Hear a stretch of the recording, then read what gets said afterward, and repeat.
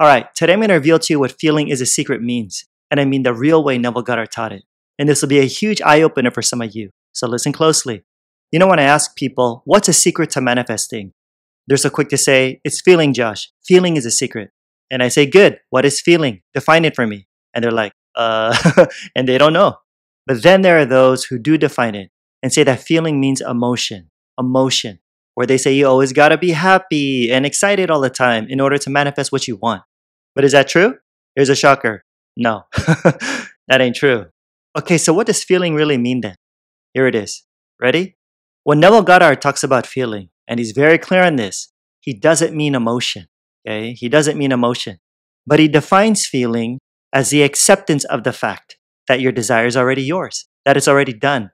As his famous line goes, you must assume the feeling of the wish fulfilled. The wish fulfilled, already done.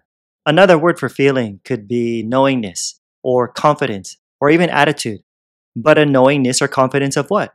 That what you want is yours. Simple as that. From the quote unquote big stuff like the new job or house you want to even the so called little things like what you're going to eat later. Seriously. Because remember, everything's a manifestation. You're always manifesting. You're always assuming things good, bad, or indifferent. And let me clarify I'm not against aiming for strong positive emotions when trying to manifest, for what they could imply. But understand that behind the strong emotions like joy, excitement, or isn't it wonderful is what? A knowingness, a confidence that it's done. Right? You're joyful because you know. You're excited because you have it. But if we're just talking about straight manifesting anything, strong positive emotions aren't necessary. But what about when people say that they did visualize and feel it real, but then nothing happened? For them, what do I mean? For example, they imagined themselves feeling and counting cash in their hands, or they saw and visualized a new car they wanted.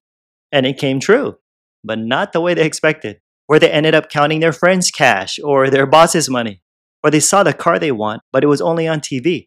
So, yeah, they manifested it, but it wasn't theirs. In other words, there was no sense of ownership. You see, the power's in its implication. Because when you feel it's yours, you're like, now that I have such and such, I'm going to do or have X, Y, and Z. Is this making sense?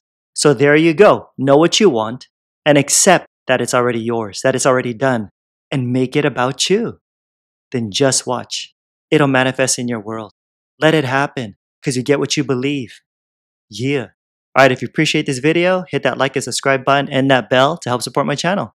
And if you're ready to live the life you really want, then yo, click the link below to learn more about Law of Assumption Mastery how to manifest anything the Neville Goddard way. Like I always say, more's coming. Till next time, I'm out. Peace.